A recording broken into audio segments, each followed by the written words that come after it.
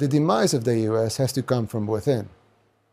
Right? The enemies have to be inside, not, not really outside. No, no, no external enemy can, could, can cause so much damage as internal.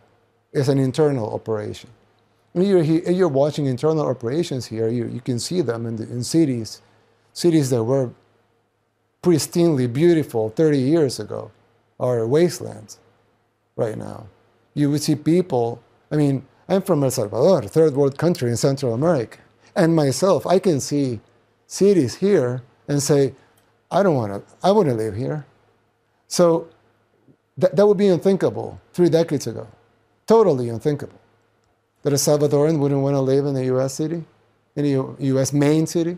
I mean, Los Angeles, San New York, Francisco, Chicago. Yeah. well, uh, Philadelphia, Baltimore.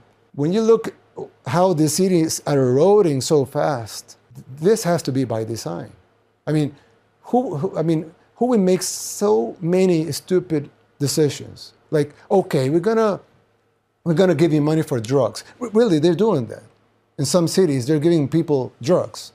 I mean, they're literally giving people drugs in some US cities. Or they say, okay, we're gonna give you money if you don't work. Or we're gonna, you know, they make all of these laws that make no sense. Or if they have a high crime, okay, I have a solution. Let's defund the police, right? They, they make this uh, analysis here. And, and you see all these campaigns, defund the police, you'll see these campaigns of uh, let's allow uh, shoplifting up to this amount. They make this, this, these decisions openly. I mean, it's not even secret. They make them openly.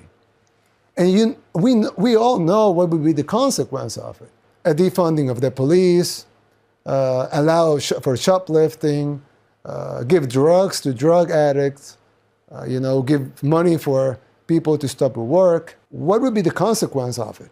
You'll destroy the, you will destroy the society, you will destroy the city, you will destroy the economy.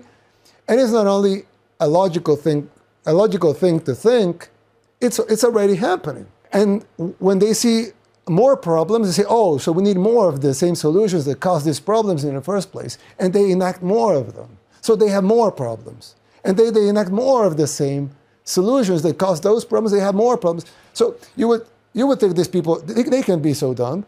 Of course they're not. They're smart. They're very smart people. So why are they doing these things? Because it's by design. It has to be by design. There's no other logical explanation.